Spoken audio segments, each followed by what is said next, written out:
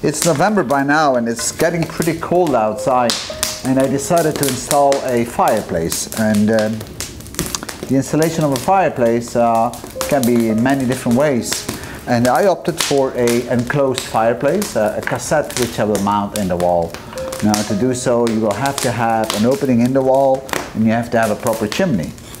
It doesn't fit everywhere. Um, you could also go for an open fireplace like this one, but that is not very efficient and you have to have the opening for it in the wall, you have to have the chimney, you, you know, and it creates a lot of dust and smoke as well.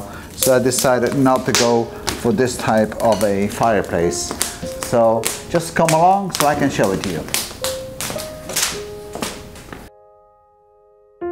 The iFire um, is actually an iGreen fireplace uh, which is burning wood very efficiently and very environmental friendly. Uh, it is a module based of cast iron uh, and um, it has a swinging door as you can see. You can also have them with uh, lift doors but uh, we went for a swinging door and uh, basically all you need is a air intake and an exhaust that goes in the chimney. All right, so we decided to go for the iGreen swinging door, a fireplace of 105 centimeters by 55 centimeters tall. Uh, the fireplace itself uh, has an efficiency of 76%, which is not bad for a wood stove. And then basically it is producing about 11 kilowatts, which is quite good. Now it all depends uh, how you want to use it and for what you want to use it.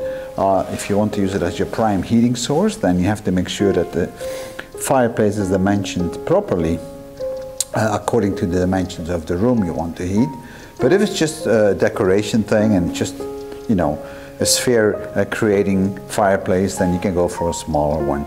I decided to go for a fairly big one because I want to heat up the room with it as well. So this is the wall where I will mount the fireplace into. Um, some time ago I installed this uh, Gyprox wall and I covered up an old fireplace. Uh, it's quite deep as you can see and I already pre-cut a hole in my Gyprox so have a look, right? So how deep that is. Uh, this is about 60 centimeters and it's about 1 meter 50 and 1 meter, meter 50 high. So I have plenty of space uh, to put the um, fireplace cassette into the wall because I want to have it recessed uh, basically into the wall. I don't want it to have sticking out. I don't want to have it flush. I want it to have it a little bit backwards. Um, and that's deep enough.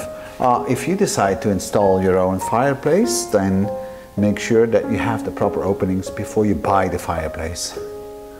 Uh, okay, so the next thing I'm going to do now is cut up cut uh, the gyprox open onto the full size and then I will build a pedestal because a fireplace like the one I'm talking about is about 120 kilograms so I want to have a firm solid surface to stick it on. I will build that with Ytong blocks but you can use any kind of blocks for that purpose and then on the top of it I will actually uh, install a steel plate with a hole in it where the tube will go through and actually end up in the chimney which is above it.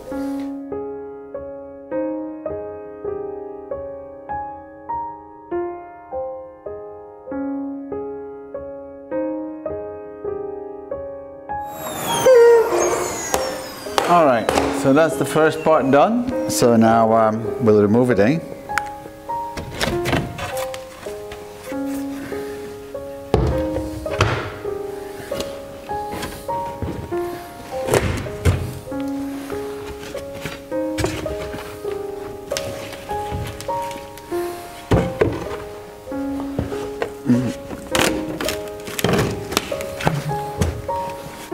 And there you have it the old fireplace.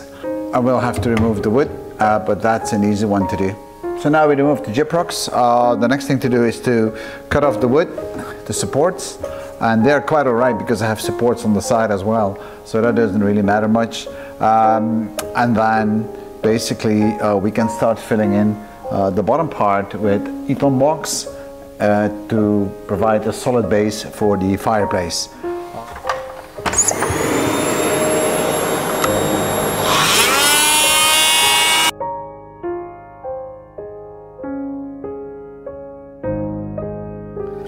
This starts to look this starts to look a bit better.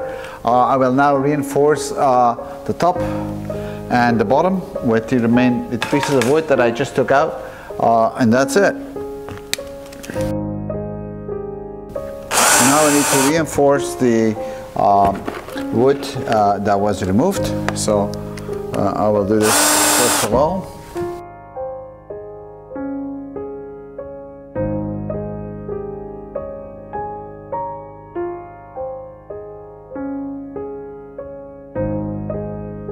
That's done. So now I can start uh, filling up the bottom part with uh, Ytong blocks and I will glue them all together so we have a firm and solid base uh, for the fireplace.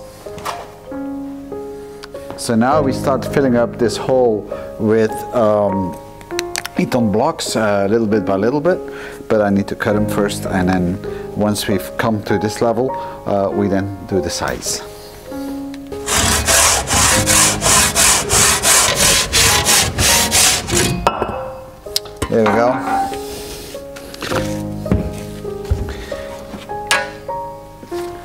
This is a special saw blade uh, for Ytong, so you can see it on the teeth, they are enforced. So don't do it with a normal wood saw because it won't last very long.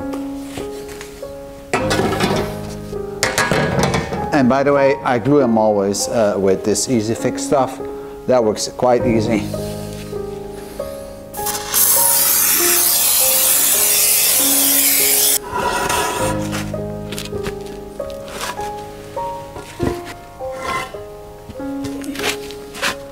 So I will keep up building up the Ytong blocks until I reach this level and then uh, we have another look. So far so good. Uh, we filled up the bottom part uh, with Ytong blocks uh, and now we're doing the sides. Not that it's necessary but uh, it's easier to finish it off uh, and then once that is done we are kind of finished with it and the opening is ready to receive the new fireplace.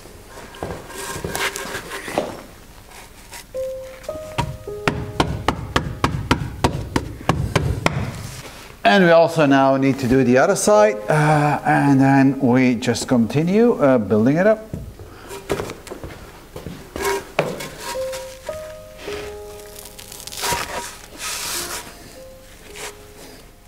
Okay, so we are done with part one. Uh, we completed the housing for the um, fireplace.